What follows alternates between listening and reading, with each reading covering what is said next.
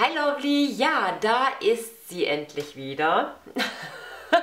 es hat ja auch lange genug gedauert, möchte ich mal wirklich sagen. Ähm, ich habe vieles für dich neu gemacht und darum geht es unter anderem in diesem Video. Als erstes möchte ich dir aber mal ganz kurz ein Haarupdate geben. Also, wir haben hier, sehen wir noch eine Stelle. Hier sehen wir eine Stelle. Da ist noch eine Stelle, da ist eine Stelle. Und hinten ist immer noch der Nacken betroffen. Hier und dann habe ich hier noch so zwei kleine irgendwie unter meinem Plüsch. ja, das ist mein Haarupdate. Im Moment lasse ich gerade wachsen, weil du hast wahrscheinlich schon auf Instagram mitbekommen, ähm, ich werde am 25.02. zu Friseur gehen. Und ich finde, da äh, werde ich definitiv in meiner Story mindestens was darüber berichten, wenn nicht auch hier. Weil das ist mein erster Friseurbesuch seit fünf Jahren. wir werden sehen. Also ich weiß nicht, was man daraus irgendwie zaubern kann. Ähm, wir gucken einfach mal. Was ich nur sagen kann ist, mittlerweile, ja, Perücken tragen piekst ein bisschen im Moment, weil ich äh, ja meistens kein Wig Grip drunter trage. Ich muss mir das echt mal angewöhnen, äh, dass ich eins anziehe. Ähm, Gerade weil ich jetzt wieder längere Haare habe. Und äh, da ist das halt, äh, ja, wie gesagt, es piekst irgendwie und ist nicht mehr so ganz angenehm. Ja, was soll ich dazu sagen, ne? ja, aber äh, in diesem Video geht es nicht nur darum, wie sehen meine Haare aus. Ähm, es geht auch um die neuen Belovely Wigs Produkte, äh, die jetzt im Januar rausgekommen sind. Und die möchte ich dir jetzt einfach mal kurz vorstellen. Ähm, genau, wo fangen wir an? es gibt jetzt Top Wig Grips. Top Wig Grips sind Wig Grips, die du ähm, auch wieder unter einer Perücke anziehen kannst oder einem Topper. Hier hinten ist ein elastisches Band, das kann man ähm, hier an diesen Ösen verstellen quasi. Dann hat man hier so eine Lasche, aber die, du merkst das überhaupt nicht. Und die Dinger sind nur dafür da, wenn du Haare hast. Also ohne äh, Haare ähm, ist das nicht so. Also es ist auch eigentlich für Topper, aber auch für Perücken geeignet. So, ich habe das jetzt hier, das ist ein bisschen groß eingestellt. Das kann man kleiner machen. Ja, ich würde es weiter nach vorne ziehen. Ich möchte es aber hier nicht äh, einsauen mit meiner Schminke gerade. so, machen wir mal Vorführeffekt. so, ähm, das ist ein Topper Wig Grip. Du kannst es auch weiter hinten tragen, je nachdem, ähm, wenn du deine Haare vorne zum Rausziehen, Verblenden brauchst, ähm, also zum, zum Rausziehen, Verblenden brauchst, zum Verblenden rausziehen musst bei einem Topper, was ja sehr sinnvoll ist. Ähm, es sei denn, du hast einen Lace Topper, mit dem kannst du das übrigens auch tragen, weil da hast du hier dann halt deinen Shuttle-Bereich. Ähm, das geht auch. Für den Topper gibt es hier extra so Ösen quasi. Daran machst du dann den, kannst du die Kämme festmachen und dann musst du sie nicht an deinem dünnen Deckhaar äh, festmachen. Das ist wirklich super praktisch und also ganz ehrlich, man merkt dieses Ding auf dem Kopf überhaupt nicht, dass es da ist. Also wüsste ich es jetzt nicht, dann ja, äh, man fühlt es überhaupt nicht. Also ich, ich habe das Gefühl, ich habe da nichts auf, weil ich kenne ja auch das äh, Gefühl von der Perücke. Deswegen also die Dinger sind äh, super genial, super äh, dünn. Ähm, für Topper auf jeden Fall geeignet und äh, für ähm, Lace-Perücken sind die auch geeignet. Aber halt nur, wenn du eigene Haare hast. So, die gibt es in äh, beige und in dunkelbraun. Das sind die hier, ja. Die sind neu in den Shop eingezogen. Wer ist denn noch dabei im Shop? du kennst ja schon mein Whip Grip Flexible. So, das ist das Flexible. Das Flexible hat hier hinten einen ähm, elastischen Verschluss quasi, wie so ein BH-Träger. Das sage ich immer ganz gerne, weil wir Frauen wissen, was das überhaupt ist. Also wenn jetzt hier ein Mann zuschaut, bitte fühl dich nicht irgendwie anders behandelt, aber äh, ja, ich wüsste jetzt nicht, woran Männer an Latzhosenträgern könnte das sein? Ja, doch, hier oben, glaube ich, zum Verstellen, ne? ähm, kann man das, äh, man kann das so gleichsetzen. Und man kann das dann halt hier größer und kleiner stellen und dann eben auf so ein Köpfchen aufsetzen. Zack. Auch super angenehm zu tragen. Also, äh, ich gewöhne mir das jetzt an, dass ich das unter der Perücke anziehe.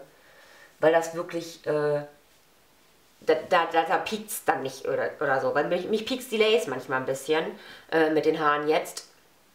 Weil, wie gesagt, Wig Grip oder ähm, Wig Cap könnte ich auch aufsetzen, aber das ist halt, weil ich halt anders gewöhnt bin, die letzten ein paar Jahre ähm, noch nicht machbar. Mal gucken, wie kurz die Haare werden, vielleicht geht es auch wieder ohne. ähm, ja, also das wäre das Flexible. Warum ich dir das Flexible zeige, ist, weil es eine Limited Edition an dunkelbraunen Flexible gibt. Also Flexible in dunkelbraun ist jetzt auch im Shop im Januar eingezogen. So, wenn du das Flexible jetzt gesehen hast, ist hier hinten verstellbar mit äh, diesem BH-Trägerteil und vorne mit einer, ähm, für einen Scheitel quasi, wenn du einen Mittelscheitel trägst oder du kannst es auch schräg aufsetzen, du den Scheitel auch nach da machen, dann ist das mit, also das Gummi bloß verschoben. Ich zeig dir das mal. Dann sitzt das Gummi hier, aber das stört mich jetzt zum Beispiel auch nicht. Ne? Also, das funktioniert auch. So, ähm, als nächstes wollte ich dir das äh, Wig Grip Invisible zeigen. Äh, das ist irgendwie im Moment so dein Hauptrenner. Ich weiß nicht warum, aber es ist so. also ich mag es auch, ne? Das ist super dünn ähm, und hat halt so einen riesen Lace-Bereich. So. Da kannst du halt hier länger nach hinten scheiteln und hier halt voll, äh, auch Haare aus dem Gesicht rausmachen. Ne? Also das funktioniert auch. Ähm, hinten hast du auch wieder diesen BH-Trägerverschluss. Und das zeige ich dir, weil auch hier eine Limited Edition braune Wig Rips in den Shop eingezogen ist in diesem Monat. genau, die haben wir auch. Und dann haben wir noch, das ist eigentlich, also die letzten Monate doch, es ist eigentlich dein, dein allerliebstes Lieblings-Wig Grip. Ähm, das ist das Silky. Das Silky, das hat hier so einen Silikonbereich, also einmal so rundherum bis zum Verschluss quasi und hier ist es dann halt frei im Lace-Bereich und hier geht es dann weiter mit dem äh, Silikon. Ähm, in Beige ist das dein Lieblings, Lieblings, Lieblings äh, Teil äh, und von meiner äh, ähm, was wollte ich jetzt sagen? Siehst du, ach Mensch, ähm, viele meiner Mädels, so rum, was war das eben für ein Satzbau? Also ich bin heute auch schon wieder nicht mehr zurechnungsfähig. Ähm, von vielen Mädels, die ich kenne, ist das mit das Lieblings ähm, äh, weil sie damit halt auch ähm, Zöpfe machen. Also ich mache auch, mache auch Zöpfe mit den anderen Wig Grips. Das geht ähm, eigentlich mit allen. Hier hast du bloß nochmal, dass es weniger halt rutschig ist. Und du könntest es theoretisch andersrum anziehen. Ähm, wenn du keine Haare mehr hast, dann hält die Perücke quasi auf dem Samt auf der anderen Seite. Und ähm, hier ist das äh, Silikon halt auf deinem Köpfchen. Das würde auch gehen. Aber wenn du es andersrum anziehst, dann merkst du halt das Klett. Ne? Also das ist schon äh, wichtig zu wissen. Wenn du es normal rum anziehst, dann ist das Klett natürlich nach außen, also hier nach außen. Ne? So, dann merkst du das nicht. Ja, ähm, ich erzähle dir das, weil es jetzt auch hier eine Limited Edition an dunklen Silkies gibt.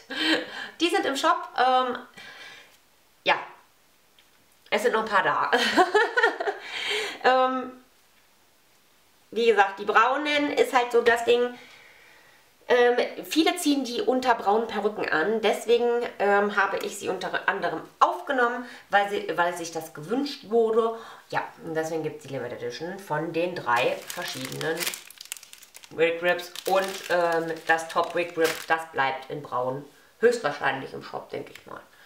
Ja, als nächstes, äh, was haben wir denn hier? Das waren jetzt alle Wig Grips. Ähm, ich möchte nochmal das Wig Grip ähm, kurz zeigen, was ich, ähm, wann war das ungefähr, November oder Oktober rausgebracht habe. Und zwar ist das das Wig Grip Lovely, weil das eine Eigenkreation ist, äh, die ich über alles liebe. Dieses Wig Grip das ziehe ich jedes Mal zum Sport an. Dazu kommt aber noch ein eigenes Video. Ähm, das werde ich nach diesem Video online stellen. Ähm, ich drehe das jetzt gleich auch im Anschluss, habe hier schon alles äh, bereitgelegt, sodass du dann ähm, mal äh, siehst, äh, wie dieses Wig Grip im Einsatz ist quasi und äh, ja, was man damit so Schönes machen kann. Also ich setze es mal auf. Das ähm, Lovely Wig Grip. So. Sitzt jetzt nicht richtig, müsste mal hier, muss ich ja gucken. Und meine Koteletten stehen ein bisschen ab. Ja, die stehen jetzt ein bisschen ab, weil ich die nach, das Wig Grip nach dem Sport einfach ausgezogen habe und hingeschmissen habe. Ähm, das wird jetzt erstmal gewaschen und dann liegen die auch wieder an. Ja, ansonsten, äh, wenn es aufsetzt und du hast sowas mal, dann gibt es Geheimtipp. Bisschen Wasser für Finger, einmal hier rüber gehen oder ein bisschen Conditioner. Äh, dann steht da auch nichts mehr ab. Da steht jetzt nur ab, weil, wie gesagt, ist so getrocknet, wie sich das anhört. Warum das hier so absteht, erzähle ich dir in dem anderen Video. Aber ähm, ich wollte es dir zumindest zeigen, weil ähm, ich liebe es wirklich und ich ziehe nichts anderes zum Sport an. Jetzt habe ich hier ein Alfalfa im Übrigen, was du aber nicht merkst. Also, siehst du, ich habe es ja nicht mal gemerkt. Ähm, die Seite sieht man ganz schön, dass jetzt hier halt eine Kotelette ist. Wobei hier nur wenig ist und hier habe ich ja diese Buschkotelette. Oder Kotelette. Kotelette. Kotelette. Ich habe schon wieder nicht Kotelette. Koteletti. ja.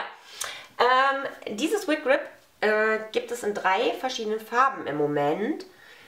Ähm, es sind aber auch wirklich nicht mehr viele im Shop, weil ich die, ähm, weil ich die alle selber mit der Hand beknüpfe. Äh, du kannst dir quasi die Koteletten selber zuschneiden. Also schneidest du die auf deine richtige Länge zu. Die sind, wenn es kommt, bestimmt so lang. Ähm, und dann schneidest du dir die auf deine eigene Länge zu, so ähm, am besten mit einer Effilierschere. Ich glaube, ich habe dazu auch schon ein Video für dich gemacht. Und äh, dann hast du auch Koteletten, wenn du keine hast. Weil das war ja die ganze Zeit mein Problem. Ich habe diesen Busch hier und auf der anderen Seite, da wollte einfach nichts kommen. Und jetzt sind sie halt lang. Aber wenn du mal guckst, wenn ich die oberen Haare wegmache, ist hier irgendwie meine Kotelette immer noch nicht da out of Koteletti. Sie, sie, sie, will einfach nicht. Ja, also ich es gibt äh, drei verschiedene Farben. Es gibt äh, braun. Dann gibt es das aschige Braun. Das habe ich im Moment. Das ist aber indisches Haar. Das hier ist europäisches Echthaar. Und ähm, dann habe ich noch dunkelblond gerade im Angebot. Das ist das hier. Ja, das sind die Wig Grip Lovelies. Die wollte ich dir unbedingt nochmal zeigen weil ich selber finde sie absolut genial. Es sind wirklich nicht mehr viele da. Ich glaube, von den braunen sind noch zwei da. Äh, äh also von den dunkelbraun heißen sie, ne? Ne, braun. Braun. Braun, braun, braun. Genau. Von den braunen sind noch zwei da, von dem aschigen noch eine und von den dunkelblonden gerade auch nur zwei. Also das ist nicht viel. ähm, wie gesagt, ich bin da der absolute Fan von, was äh, Sport mit Perücke mit diesem Band angeht. Aber das kommt im nächsten Video. Reicht jetzt auch. So, jetzt kommen wir zum nächsten Produkt. Was im Januar neu ist. Ah, ja. Du kennst die schon. Dream Delashes wieder im Lager. Die waren ja, äh, ja gut, fast leer. Also da war nicht mehr viel da. Ich glaube, fünf Packungen hatte ich noch hier ähm, setze ich ja täglich auf. Also die Dream Day sind die hier, die ich gerade drauf habe. Und jetzt gibt es die Dream Night. I love them. Die sind in der äh, Night Dream. Entschuldigung, so rum. Siehst du? Ich komme da immer durcheinander. ähm, Night Dream Lashes, die sind wirklich, also muss man auf meiner Seite dann gucken. Ähm, ja, der Wimpernausschlag ist sexy, würde ich sagen. Also ich mag sie sehr, sehr gerne. Ähm, Gerade für Feiern gehen, zum Abend, zum Essen gehen und so weiter und so fort.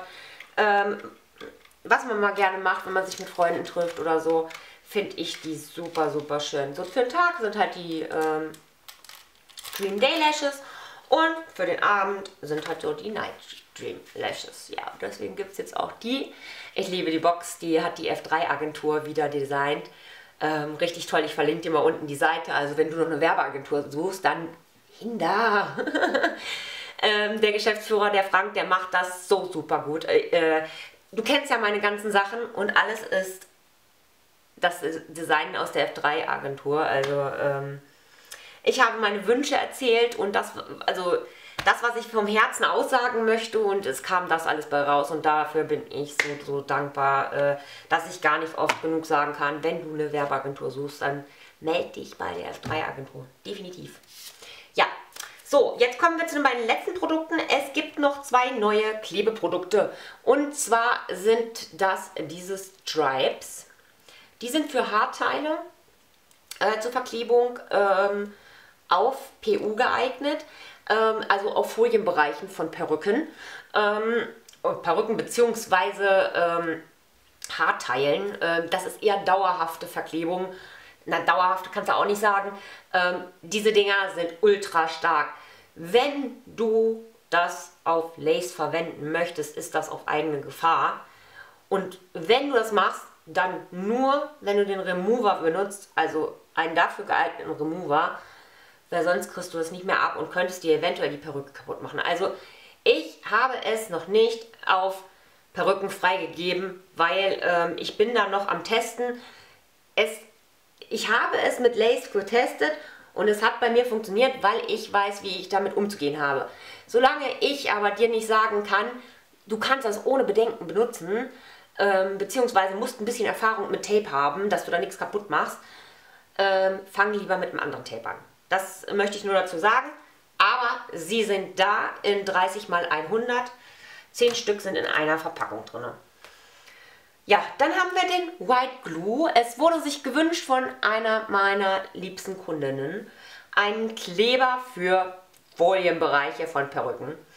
Und ähm, das ist wirklich für Perücke und auch Haarteile geeignet. Ähm, du könntest, wenn du wolltest, so äh, das Ding 10 bis zwölf Tage, je nachdem, äh, was für ein Hauttyp du bist, kleben lassen. Ich sage ja immer, Perücke abends abmachen ist das Beste.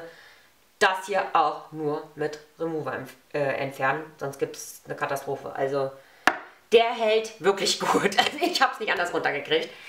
Ähm, ja, also ich würde auch sagen, das ist eher auch ein Produkt äh, für jemanden, der sich schon ein bisschen auskennt ähm, oder halt eine alte Perücke hat, wo er halt einfach immer mal irgendwas dran testet und übt oder wo das nicht so schlimm wäre, wenn irgendwie was kaputt geht. Ich sag's lieber so, was kaputt geht, weil ich weiß nicht, wie rabiat ihr mit euren Perücken seid. Das kann ich nicht einschätzen. Deswegen muss ich davon ausgehen, dass ihr das Schlimmste tut und einfach daran reißt. Ne? Und das geht halt einfach nicht bei diesen äh, Kleben, Klebern, weil die halt einfach dafür viel zu stark sind. Der ist übrigens weiß und wird dann transparent, wenn er trocknet. Also du siehst dann auch, wenn der trocken wäre. Also äh, der ist nicht die ganze Zeit weiß, es ist bloß besser, äh, dass der weiß ist, weil dann siehst du, wo du Kleber hingemacht hast, als wenn er transparent wäre. Ne? Also ist wie beim, ähm, beim Lashes-Kleber sozusagen. Ja, äh, lovely. Das war es eigentlich auch schon. Ich denke mal, das reicht erstmal an Produkten.